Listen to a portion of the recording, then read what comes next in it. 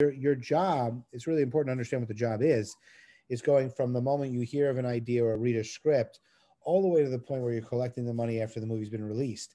And that's a three to five year process. So you better love your film. That's the first thing. Um, but to get into producing, it's really not a science. There's no like, get this job, sign up for this thing, do this internship, work for CAA.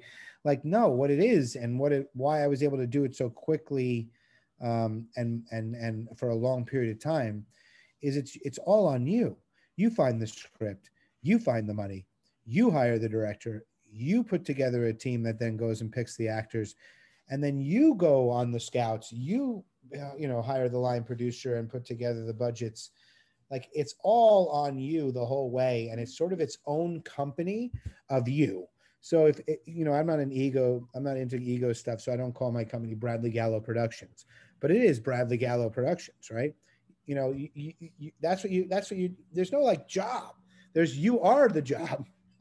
So you have to say, I'm going to find a script. I'm going to go find.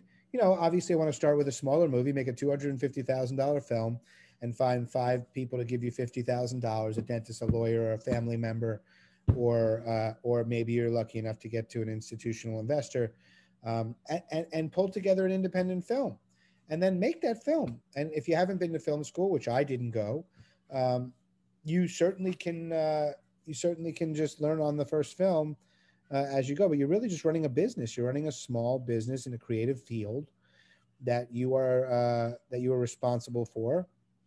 And i think the advice is to go and put one together the only thing that essentially stops you is is the money you know raising the money. And if you think you can figure that out you don't have to have the money yourself like oh the rich rich people are the only ones.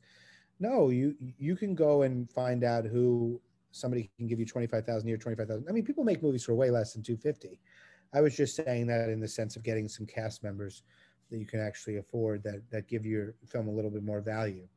Um, but yeah you you know some people say start with a short film right but short films don't make any money. And, and if you want to project yourself faster and you're maybe older, there's so many ways to talk about this.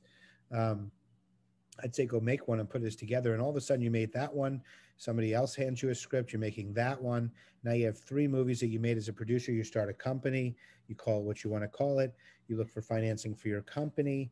Then you start getting hired maybe by a streamer or a studio because you made a horror film that did well. I'm making that up um, and, you start to build a brand for yourself as a producer and for your company. I mean, that's essentially what we did. I mean, and you can partner with people. I partnered with an amazing uh, man by the name of Michael Helfant, who's 20 years older than I am, and uh, came sig- from significant companies out in, in in Hollywood forever. I was a New Yorker, and we combined that way. But, but, you know, you're you're you're as good as the people you surround yourself with, and if you feel like you're a producer, your job is to hire all the better people, better than you, uh, to do all those different jobs, and then you just sort of steer the ship. I think that's what that's what it takes to be an independent producer.